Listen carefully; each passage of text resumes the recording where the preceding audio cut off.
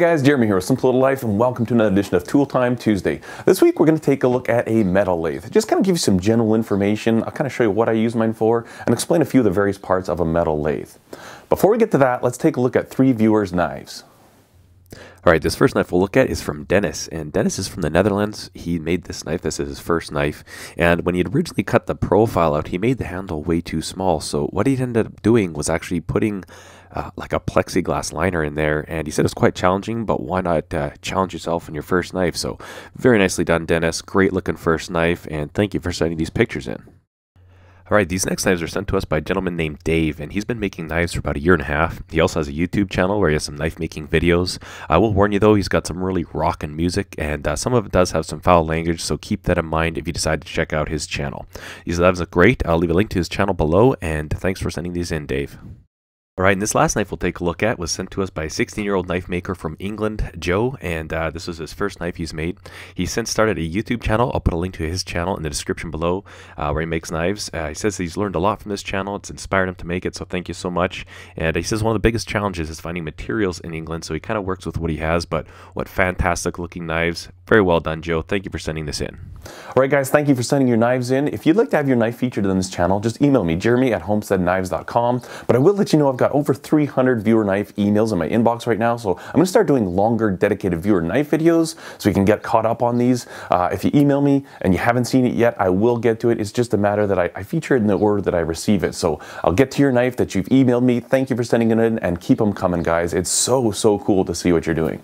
All right, let's take a look at this metal lathe. Okay, so my lathe is not a really good lathe. It's a very low-end lathe. It's a King Industrial.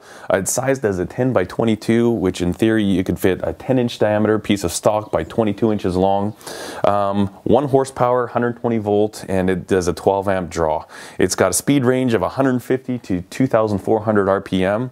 Uh, the speeds are adjusted via belt and pulley, and that's under this cover. We'll take a look at that in a moment. And then the motor is actually just mounted right in behind here. Now, let's talk about just the general parts of a lathe. This entire thing is called the headstock, makes sense. We've got our chuck, we've got our bed, which is the main frame that extends past the headstock, and then on top of that we've got the ways. Now the ways are a very critical part. Um, they're kind of the peaks like this, and your carriage rides on those.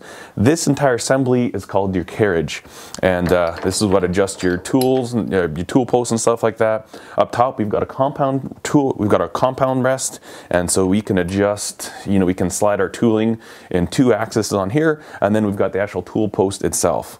Um, this here is a lead screw, so this is the screw that will engage the power feed when I'm cutting threads. Uh, this does have the potential to cut threads and you can do metric and imperial, but you do have to change out a little gear set at the bottom depending on the type of threads that you're cutting. Uh, and then back here we've got the tailstock, and in the tailstock right now I've just got a Jacobs chuck so I can drill holes, and then you can also put in things like a uh, live center and stuff, and they just use these, most of them will use some type of a taper, this the Morse taper here, and you just kind of slide them in and out, really cool, really handy. So now with this one being a real simple belt drive, to change to change the belts, I just open up this cover and I can adjust my belts accordingly. Most bigger lathes have a proper transmission. They've got levers that you engage different gears and it's actually a much better way. Having said that, for, for somebody just learning and stuff, a belt drive is kind of nice because if you really jam up a tool in something, um, it can just often, the belts will just slip and it, it's kind of a nice safety feature. I've worked on some big, big lathes. I did my apprenticeship on a really large lathe think it was an eight foot capacity or 12 foot capacity. But anyways, that thing, if you made a mistake and accidentally rammed the tool into something, the things were just breaking. Like there's no give, there's no slip. So uh, these are kind of nice, and uh, I see why they don't make these. First of all, the price to make these like actual gear driven, but also these are typically reserved for somebody who does not have a lot of experience. If I was a full-time machinist, this would not be a machine that I would use. Now with these hobby type lathes, the biggest drawback is that they're too light. Uh, same thing with small milling machines and stuff you know, there a lot of them are can be fairly precise and they're built fairly well, and they're you know within a thousandth of an inch you can be quite repeatable. But the one issue that they have is that they're just they're so lightweight. And if you go back, you know, so you look at the old lathes in the '60s and stuff, the lathes that I did my apprenticeship at at school were about the same size, but they had a lot of mass to them. They had a lot of girth, and that just made really really nice surface finishes. You could do heavier cuts. Um, you know, this this entire tool rest area here, this this carriage assembly is so small and lightweight that you're really limited to how hard you can cut. Having said that, if you just kind of back it up a little bit, do smaller cuts, slower feeds, it does work well and it, and it gets the job done. You can get a decent surface finish and I can get fairly accurate results with this too.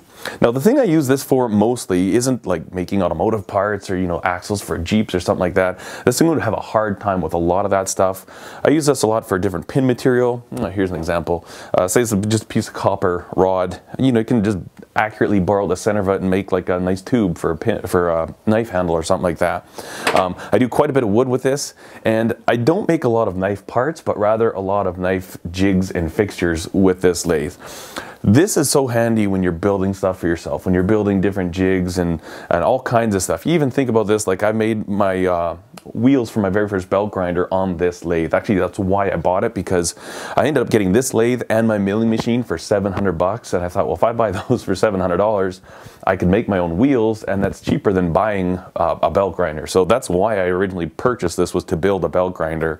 Um, and for a long time, I didn't have it in this shop, brought it back, and I actually use this thing.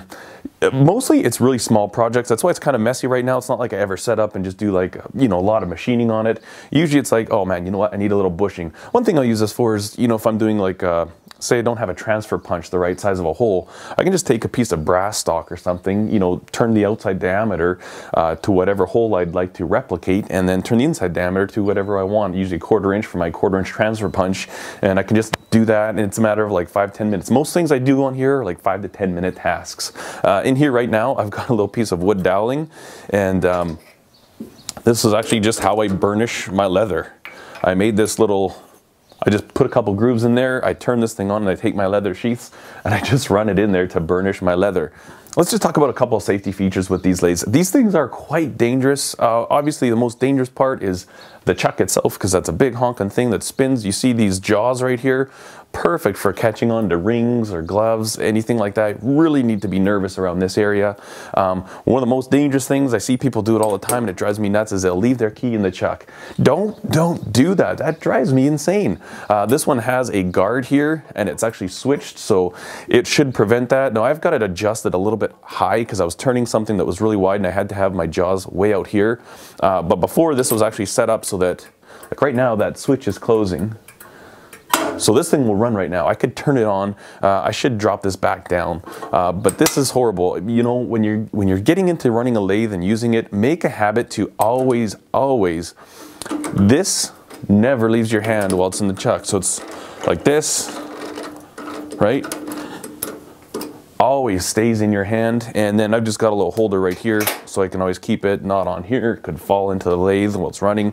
Um, but even a lot of times if I'm doing this and I'm adjusting it like this, and then I got to measure something, I'll keep this with me in my hand and then tighten it up. A lot of guys, you see them, they'll be like, you know, and okay, yep, it's just too easy to leave it in there, and that thing will come. You turn this thing on, this is coming back at you. Say goodbye to your teeth, your eyeball, who knows? It's just bad, bad news. So um, that's a critical area. Also, really, you got to keep in mind when you got power feeds and stuff like that, not to slack. I've worked with a lot of guys that'll sit there and they put their power feed on. We're doing machining operations that take like five minutes a pass, and they'll just sit there and read magazines, hot rod magazines, and stuff. That is so dangerous. You know, you need to be vigilant when you're using these things. Uh, these things, like a lot of equipment, they teach really bad lessons really quick. So, um, one other huge safety feature a lot of people don't think about, and uh, I, I, I, can tell you this from experience. So, if you got you know a drill press in your in your tailstock here, or a drill bit,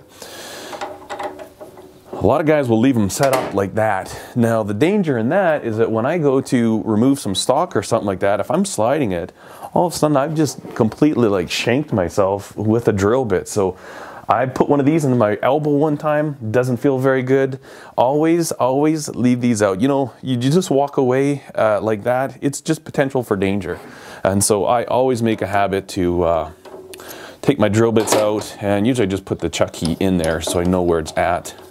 Uh, you know this, it's not going to shank you like a drill bit will. Uh, same thing with your live center. I usually don't like to leave a live center in there because it can really hurt you bad. All right, so this is the tool post I have on this one. And again, um, these, this is a quick change tool post, so it kind of locks in right here, and then to change it, it's got this little detent system. So it'll click one way and then lock the other way. So if I want to go, say if I'm turning the outside diameter, I can do that, you know, do my machining operation, then I want to part it off. I've got a parting tool in here. I can just hit this and I'm not changing cutters out and stuff like that. This has the same thing to do with like a drill bit in there. You got to remember these are sharp, sharp objects. And if you don't need to have a whole bunch of them in here, it's best not to. But this I had set up for an operation where I was turning the outside diameter and then I was parting off little bushings. So um, I should take this out and leave no tooling in here. Also, you notice I've got some rust in here. I had my door open and we had like a freak windstorm and rain. And uh, so this thing just got rusty recently. Luckily the ways aren't too bad.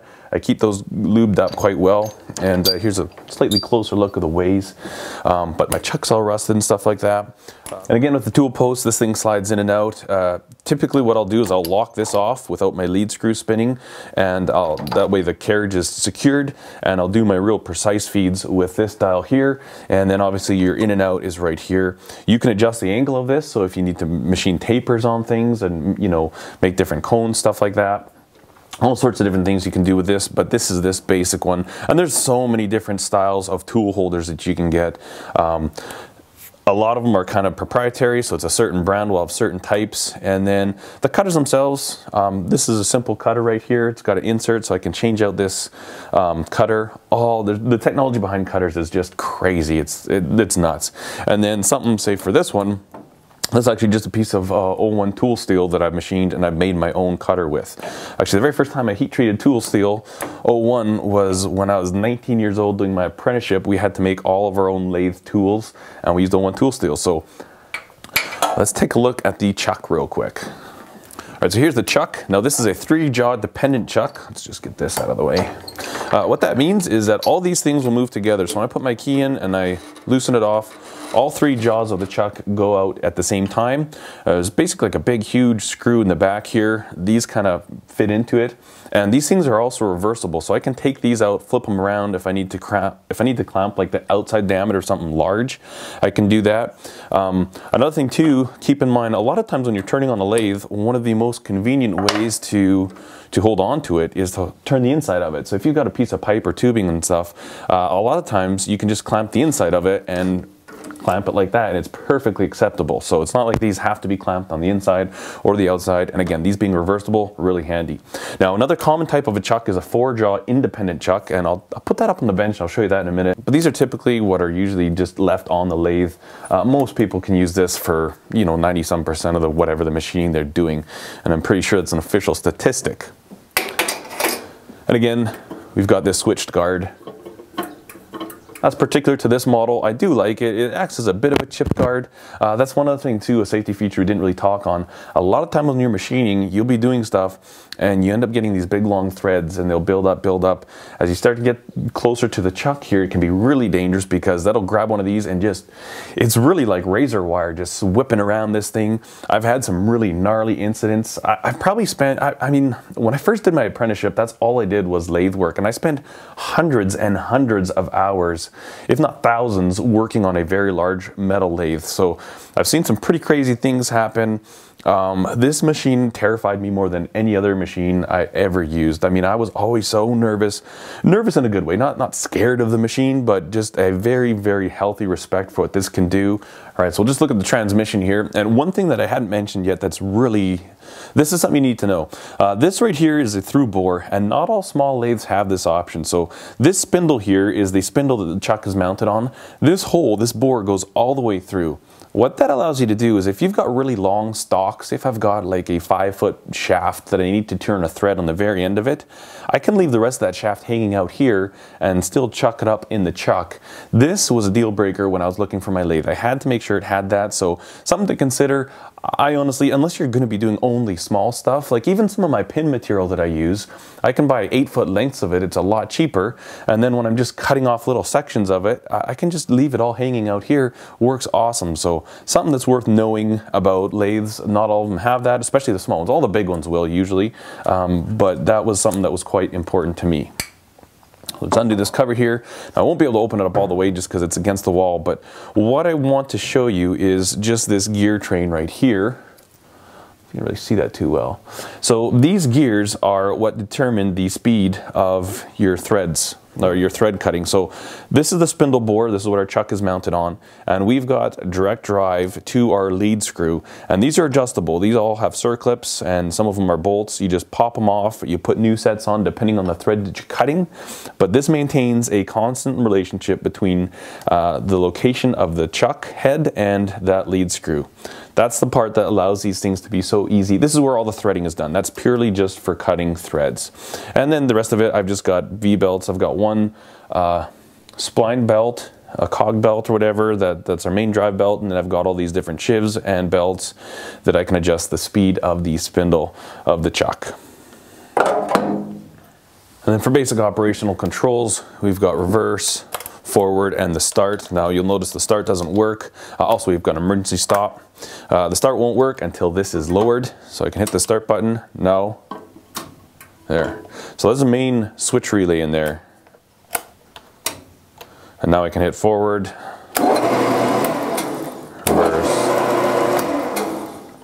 And then a lot of them, actually, some of the older ones would have a brake, like a foot brake. A big reason for that is if you've got a really large piece of material turning, you're done your cut, you disengage the motor, you shut it off. The inertia is just going to keep it going there for sometimes 30 seconds or longer. And if you had to wait for that to slow down, it'd take forever. So a lot of them just have a real quick brake. You can just step on it, instantly stop it. And typically that brake will be tied to the stop switch. So as an emergency stop, you know, if something's going wrong, you can just stomp on that thing and it shuts everything down. Don't have that on this. I, I wish I did. I think it's a really important safety feature. At the same time, um, not overly necessary, I suppose. As I mentioned earlier, this is a four jaw independent chuck. This is a bigger chuck than the three jaw I have on there. And see there's four jaws. And on the three jaw, you may have noticed that the little uh, slot for the wrench or whatever was in between the jaws. These four jaws, they're right in line, and it's basically just a big worm screw. And so I just stick this in here. I don't know if I can really do this. Here. And uh, give this a twist and you'll notice it's just that one jaw that I'm adjusting. And so obviously if you've got some really odd shaped things, you can you can put a, a, square block in there and machine it, a rectangular, even really weird shapes. I have used this a few times to, to machine some really crazy stuff, um, but that's what these do. And then they're fairly, fairly simple to swap out chucks on your lathe. Um, they're threaded and then they've got keepers as well, little clamps. Oh, that's dirty. I didn't clean that out very well, did I?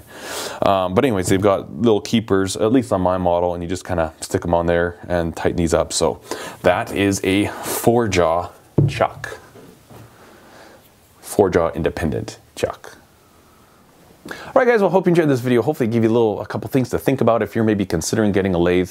Is this a necessity in a shop? Absolutely not, um, but it is super, super handy. Now, if you were to ask me what I would rather have, my lathe or my milling machine, I would just say you need to roll the dice because I couldn't make that decision. I just, I don't know. Um, I don't use either of those in the actual knife making process, but I use them both to help make things to help make knives that makes sense. Anyways, super handy machines. I love them. And uh, you know what? Keep an eye open. Look for some used ones. Sometimes there's some hot deals there. Uh, be safe, like really respect them. If you've never had experience with these, just really, really watch yourself. But these things open up a lot of doors. You know, even if you're making hinges or something, you want to make your own pins or, you know, a, long bolt and, and you don't want to have to custom order it, you can just buy the steel and make it yourself. So as, as somebody who's like a builder and a tinker and always kind of doing stuff, this thing just gives you so many options and it allows you to take so much more control and do things yourself. So anyways, I hope you enjoyed the video guys. If you did, give it a thumbs up. Be sure to subscribe to the channel. Thanks for watching. Cheers.